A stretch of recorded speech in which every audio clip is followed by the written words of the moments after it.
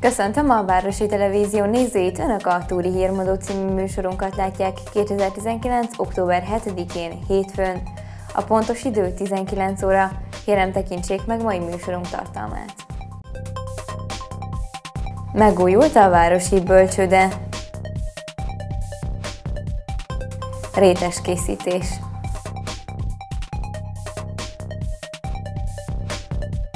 Herceg Zsolt polgármester nyilatkozott televíziónknak a városi bölcsöde megújulásáról. A bölcsöde energetikai korszerűsítésen ment keresztül, amely biztosítja a megfelelő hőérzetet és a meleg vizet, továbbá egy új csoportszoba kialakítására is sor került, valamint az épület burkolata és a nyílászárók is kicserélődtek. Megújult a mezőtúri városi bölcsöde, és egy plusz csoportszobával is bővült. Polgármester úr, mit tudná elmondani erről a beruházásról? Hát elsőként azt, hogy nagy öröm számomra, hogy a mai napon itt lehetünk, és ünnepélyes keretek között átadtuk a, a létesítményt. Nagyon boldog vagyok, hiszen jó néhányszor megfordultam itt a, az elmúlt évtizedekben, és hát már polgármesterként is jártam itt nem egyszer, és hát bizony mindig egy kicsit szégyenkezve távoztam, mert, mert olyan állapotok voltak, ami hát nem igazán a 21. századnak megfelelő igényeket tudták nyújtani a, az ide látogató gyermekeknek, az ide járó gyermekeknek és a dolgozóknak, és hát nyilván ezt a szülők is látták, hogy milyen körülmények vannak. Biztonságban voltak a gyerekek, és zajlott a, a bölcsődei nevelés. De tényleg egy nagyon nagyot sikerült most előre lépnünk, hiszen az egész épület energetikailag megújult, a megújuló energia felhasználása is most már ugye a melegvíz előállítása terén jelen van, és ugye ami még külön öröm számomra, hogy leváltunk a, az óvodától, hiszen ott egy vezetéken keresztül jött át a melegvíz, és bizony nagyon-nagyon nagy veszteséggel és ugye mondták itt az imént a hölgyek, hogy még akkor sem volt igazán a hőérzet olyan az épületben, amilyen az elvárható lett volna. Ugye kérdeztem, hogy bekapcsolták-e már a fűtést, és hogy azt mondták, hogy nem. Jó, tudjuk, hogy tegnap még azért jó idő volt, meleg volt, de ugye teljesen más a hőérzete az embernek, hogy korszerű falszerkezet, korszerű nyílászárók kerültek elhelyezésre, ugye akadálymentesítés is megtörtént, és komplexen megújult a, az épület, és hát ugye be néztünk az új csoportszobába is, amely már ugye a bútorokkal is be van rendezve. Úgyhogy ettől azt reméljük, hogy az illetékes hatóság az napokon belül kiadja majd a szükséges engedélyt. Ilyenkor a működési engedélyt módosítani kell a, a hatóságnál, és abban az esetben már azonnal tudnak jönni a, az új gyermekek, ugye 12 fő, és 48-ról ugye 60 fősre bővült az intézmény.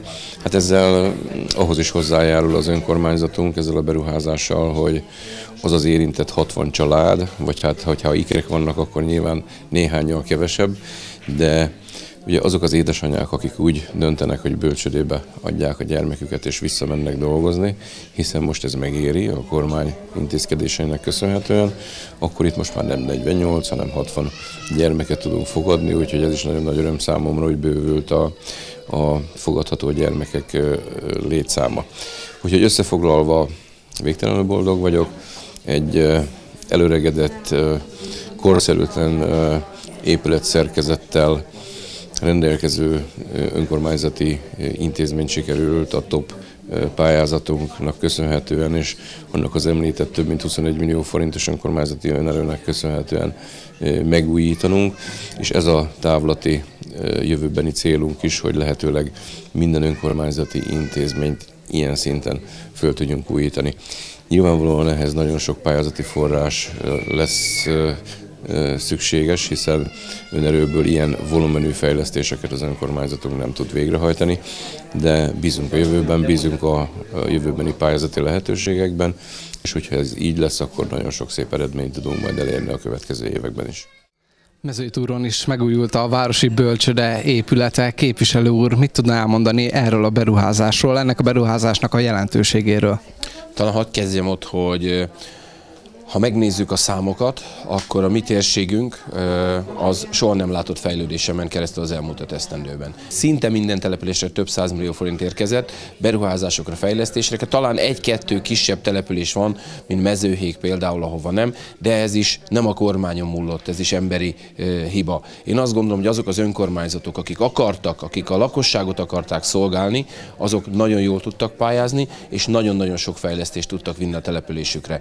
Így van ezzel mezőtúr is. A jó együttműködés a kormányjal, az arra koncentrálás, hogy milyen igényei vannak a mezőtúriaknak, hogy mit kell fejleszteni mezőtúron ahhoz, hogy itt mindenki otthon érezhesse magát, az azt eredményezte, hogy nagyon sok pályázatot nyújtott be mezőtúr, és nyilván a sok pályázatból sok pályázaton is nyert sok-sok milliárd forintot. Ennek köszönhető például ez a bölcsöde felújítás, ami azt gondolom, hogy minden igényt kielégít, fantasztikus szép lett a bölcsöde. Én nem voltam itt azelőtt, mielőtt ez az épületet felújították, de ahogy elmondják mások, itt egy ilyen fénysugárnyi, ahogy polgármester mondta, vagy fénysugárnyi különbség van, egy régi lepukkadt épület és a mostani gyönyörűen felújított modern épület között, amelyben ráadásul ugye az új csoportszobának köszönhetően új játékok is érkeztek, új berendezés is érkezett. Tehát ez tényleg egy nagyon-nagyon fontos dolognak tartom. Nagyon fontos, hogy a jövőt fejlesszük, a jövőnek fejleszünk, tehát a gyermekeket próbáljuk meg minél jobb helyzetbe hozni, hiszen ha a gyermekeket biztonságban tudják a szülők, ha a gyermekeket látják, hogy jó helyen, jó szakemberek kezében vannak, akkor nyugodtan mennek el dolgozni,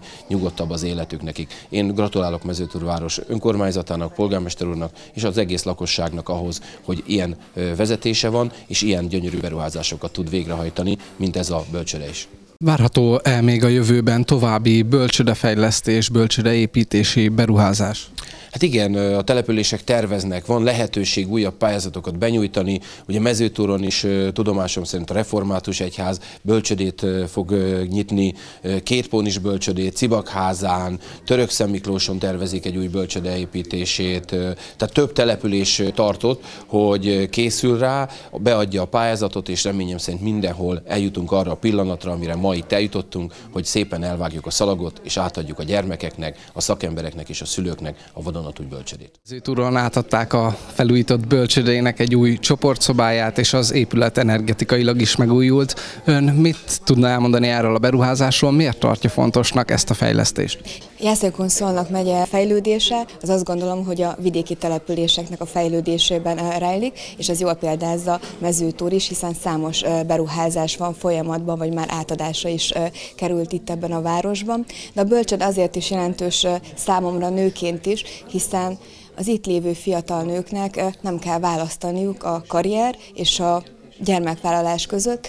A mai bölcsöde átadón megtudtam, hogy 60 fiatal családnak nyújt segítséget, hogy a gyermekéket egy 21. századnak megfelelő fejlesztés infrastruktúrájú bölcsödébe jó helyen tudják a mindennapokba. Új csoportszavával bővült a mezőtúri bölcsöde, és egy energetikai beruházáson is átesett. Milyen könnyebbséget jelent ez az intézményben dolgozók számára, az idejáró gyerekek számára? Hát egy teljesen új, modern környezetben várjuk a új csoportszobában a gyermekeket. A régiek is felújításra kerültek, amely lehetővé teszi az eszközökkel, hogy a gyermekek élmény gazdagabban térjenek haza, még szívesebben járjanak intézményünkbe, és minden területen megkapják azt a szükséges ingert és fejlesztést, hogy még sikeresebben lépjenek át majd az óvodába, és későbbiekben pedig az iskolába. Az energetikai szempontból pedig sokkal korszerűbb lett intézményünk, és így modernebbek is lettünk.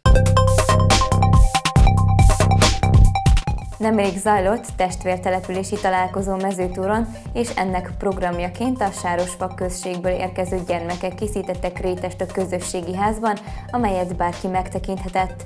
A Csemadok kulturális szervezeten belül jött létre ez a közösség, amelynek a célja, hogy átadják hagyományaikat a fiatalabb generációnak. Sárosfa községből érkeztetek ide hozzánk, és már teljes gőzzel készül a rétes. Milyennek egyébként a hagyománya? Sárosvár nagy hagyománya van a rétesnek, és hogy a hagyományt tudjuk megőrizni, akkor próbáltuk ezt a fiataloknak átadni, és akkor a csemadok kulturális szervezeten belül beszerveztük ezeket a fiatal lányokat, akik itt állnak körülöttem, és egy évig tanultott, tanítottuk őket a rétes készítésre. Miután megtanulták, akkor elvittük őket egy ilyen réteshúzó fesztiválra, ahol azt lehet mondani, hogy ők voltak a attrakció, mert eh, nem volt gyerekcsoport, gyere, gyermekcsoportja a fesztiválnak, és akkor ott részt vettek, ezen fölbúzultak, hogy sikerült, és azóta készítik a hagyományos kézzel nyújtott rétest. Tehát akkor ez Sárosván tulajdonképpen egy specialitásnak számít. Igen, szerintem mondhatjuk így. Egy, hogy specialitás, és szeretik is a rétest. Hát a, a rétes készítés nem is annyira, hogy fárasztó, hanem inkább az, hogy alaposan ki kell dolgozni a tésztát, és itt a két tésztán láthatjuk a különbséget, hogy e, ez a tészta még igényeli azt, hogy dolgozzunk rajta, és ezen a tésztán már látjuk, hogy simább a felülete, tehát ez már közel van ahhoz, hogy jó rétes tészta legyen. És a rétesnek a alapja az, hogy jó minőségű lisztből jól kidolgozott rétes tésztát kapjunk, mert máskülönben nem nyúlik ki a rétes. Mivel szokták tálalni egyébként? Hát nálunk nagy hagyománya van, mert mivel mi, mivel mi csalló közből vagyunk, és ottan nagyon jó termőföld van, nagyon-nagyon sok gyümölcsterem, sokfajta gyümölcsterem, úgyhogy nálunk hagyománya a almás, megyes, cseresznyés, szilvás és a túrós rétesnek van. Különböző módon bolondítva, mákkal, dióval, rebarbarával, ki hogyan szereti. Egyébként a rétest az különleges alkalmakra szokták, vagy esetleg e- ebédhez desszertként?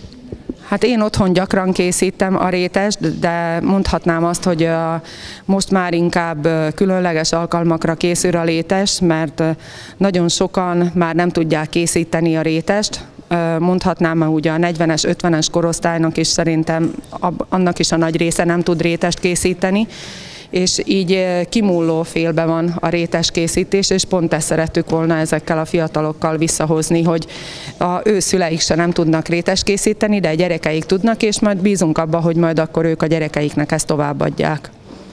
És szokták mondani egy gyerekek esetleg, hogy otthon elkészítették, és a szüleiknek is íz lett? Hát itt bátran meg lehet kérdezni akármelyik lántól, hogy melyik készített el, például itt a Vanda, vagy a Vivian nagyon jó réteshúzó, kisasszonynak nevezem őket, ők már otthon elkészítették a szüleiknek, sőt a, a Vivian már elkészítette el vendégeknek, akiket vártak otthon. Sárosfa községből érkeztetek ide hozzánk, és éppen mit készítetek? Rétest. Hogyan készül ez a rétes? Hát um, összeadjuk a tojást, a olajat, az ecetet, a zsírt, a lisztet és a langyos vizet, azt szépen összedolgozzuk, hagyjuk 15 percet pihentetni, ezután kihúzzuk a rétest, lassan nehogy szét, ö, szétszakadjon, Ezután ö, olajat rá ö, csöpögtetünk, ezután pedig a almát, vagy a fahéjat, a cukrot és a mákot rátesszük és aztán 180 fokon pedig megsüssük. Hogyan érzitek magatokat itt nálunk mezőtúron? Nagyon jól, és már sok ö, mm, gyerekeket is ismerünk, és ö, érdekes programok vannak, és másodszorra vagyunk itt. Milyen programokon vettetek részt eddig? Öm, eddig a méhészkedésről beszéltek nekünk, és ö, még volt egy ilyen énekes is nálunk, és énekelt nekünk tegnap. Kedves nézőink, köszönjük a figyelmet! Önök a Túri Hírmondó című műsorunkat látták. Friss hírekkel majd holnap is várjuk Önöket. Addig is minden jót kívánok a viszontlátásra!